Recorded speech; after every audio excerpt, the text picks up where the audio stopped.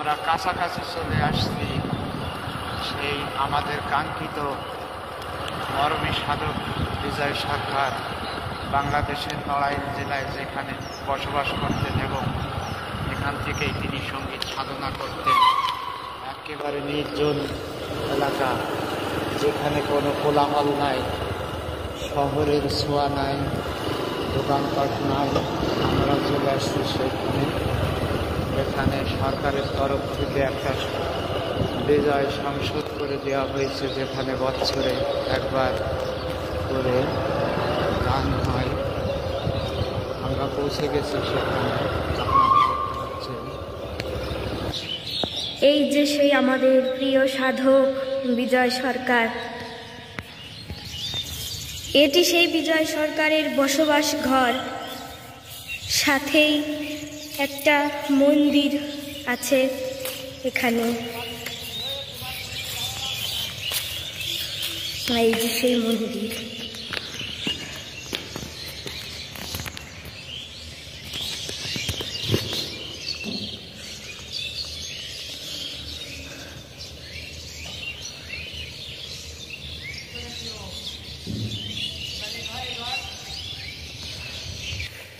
আর এখানে সেই বসবাস ঘরটি দেখুন। পা দুটা বাহিরে রাখুন। আচ্ছা এখানে তাহলে পা রাখা যাবে না। কিন্তু আপনারা দেখতেই পারছেন, এত সুন্দর একটা ঘর। পাখিরা কিচিরমিচির করছে এখানে। গাছে ফুল ফুটেছে। মরমী সাধক কবি বিজয় সরকারের এটি পুরাতন বাসস্থান। যার সাথে লাগোয়া একটি মন্দির আছে, অনেক সুন্দর, পাশে ফুলের গাছ আছে এবং জায়গাটি এখন পতিত অবস্থায় আছে। সরকারের দখলে সরকার থেকে একটি নতুন বিজয় সংসদ মঞ্চ করে দিয়েছে, যেখানে প্রতি বছর একদিন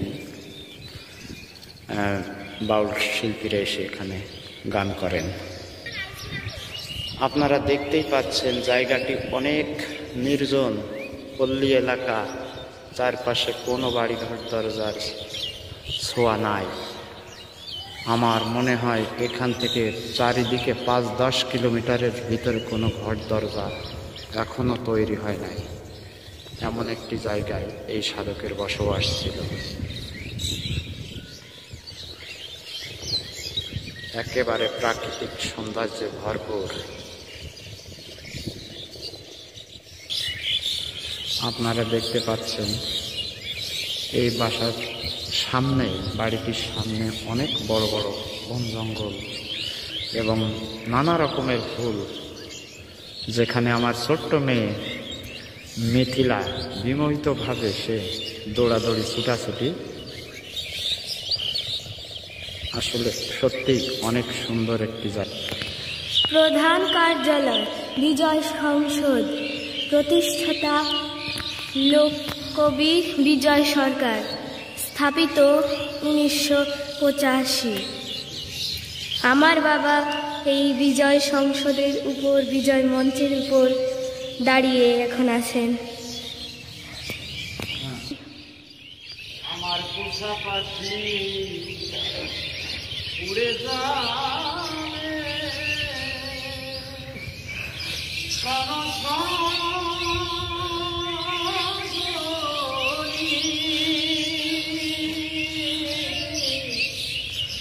নাই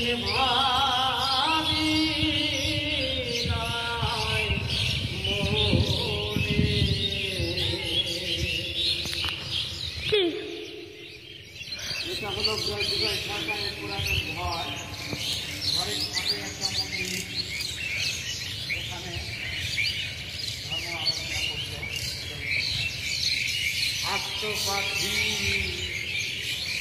সোনালি খাতায় বসে কত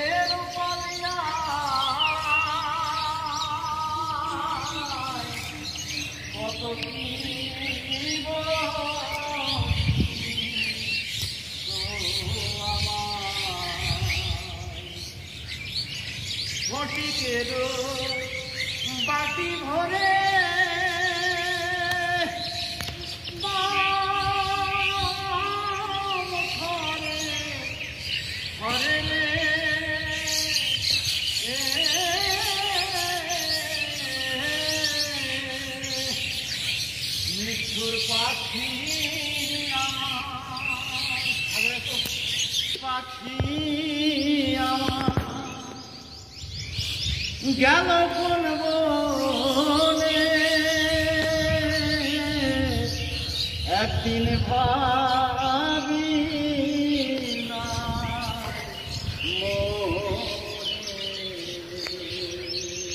পাখি উড়ে যাবে। কারও সজনী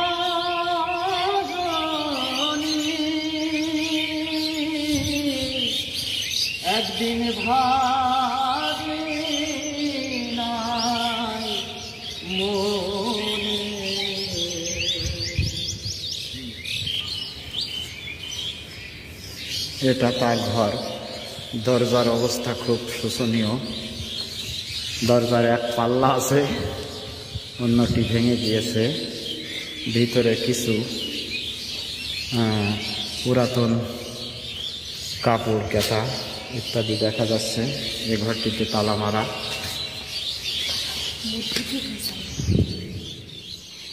এটাও তাই। তালা মারা। এই ঘরের জানালা খোলা আছে ভিতরে। পুরাতন সেই চৌকি আছে। হয়তো বা বিজয় সরকার এখানেই ঘুমাতেন, থাকতেন। একটা কাঠের বাক্স এবং একটি চেয়ার দেখা যাচ্ছে। এখানে কোনো লোকজন নাই। জানালা দিয়ে যতদূর সম্ভব আপনাদের দেখানোর চেষ্টা করলাম। এই সেই চকি, হয়তো এই চকিতেই তিনি থাকতেন। একটা কাঠের বাক্স আছে, আপনারা দেখতে পাচ্ছেন, তালা লাগানো এবং পাশে একটি চেয়ার আছে। এটা তার এখন পতিত ঘর পড়ে আছে অযত্নে অবহেলায়। গাছে শুধু পাখি আর পাখি, শব্দ শুনতেই পাচ্ছেন একটা পাখির বাসা, ওই একটা পাখির বাসা, আর ওই পাশে এই যে একটা পাখির বাসা। আর মাথার উপরেও আছে পাখির বাসা। আমরা এখানে এক দুই ঘণ্টা ধরে আছি। আপনাদের শুধু এক সেকেন্ড লাগবে আমাদের লাইক করে, সাবস্ক্রাইব করে আমাদের পাশে থাকতে। মন্দিরের ভিতরটা আর একটু দেখানোর চেষ্টা করি আপনাদের। এখানে হয়তোবা পূজা অর্চনা হয়। কারা করেন, কখন করেন জানি না। তবে এইখানে মন্দির, এই মন্দিরটা অনেক পুরাতন। বিজয় সরকারের আমলের মন্দির। ছোট্ট একটি মন্দির। পাশে কিছু ফুলের বাগান আছে।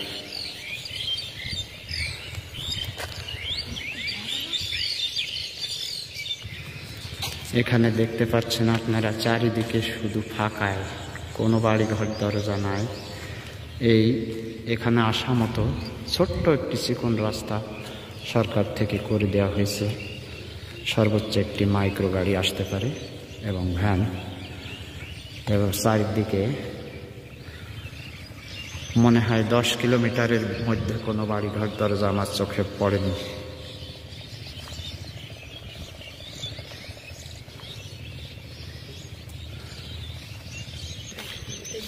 অনেক সুন্দর জায়গা বিজয় সরকারের এই বাড়িটি অযত্ন অবহেলায় আছে এখানে।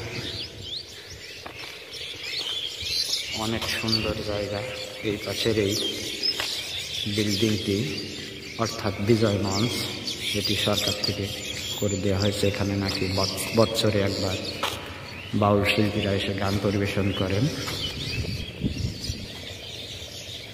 এটা হলো ঘরের পিছনের দিক। পিছনে একটি টয়লেট আছে। এরপর শুধু ফাঁকা মাঠ আর মাঠ।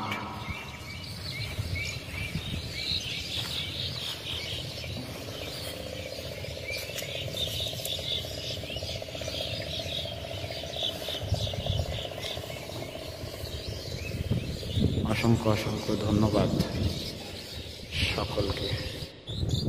আমি বিজয় সরকারের আশ্রম থেকে অনেকখানি পিছনে চলে আসছি, যেখানে অনেক বড় জলাশয় এবং সাদা বক, অনেকগুলি সাদা বকের ঝাঁক দেখতে পাচ্ছেন জলাশয়ের মধ্যে। ঘুরে বেড়াচ্ছে এবং প্রত্যেকটি জলাশয়ের পাশে একটি ছোট্ট ঘর আছে। হয়তো এখান থেকে এই জলাশয় দেখাশুনো করা হয়। আর এই চারিদিকে ধান এবং ওই যে সেই বিজয় সরকারের আশ্রম, দূর থেকে আপনাদের আবার দেখানোর চেষ্টা করছি। অনেক সুন্দর প্রাকৃতিক দৃশ্য এখানে। চারিদিকে মাঠ আর মাঠ। ফসলে পরিপূর্ণ এবং জলাশয়ে মাছ চাষ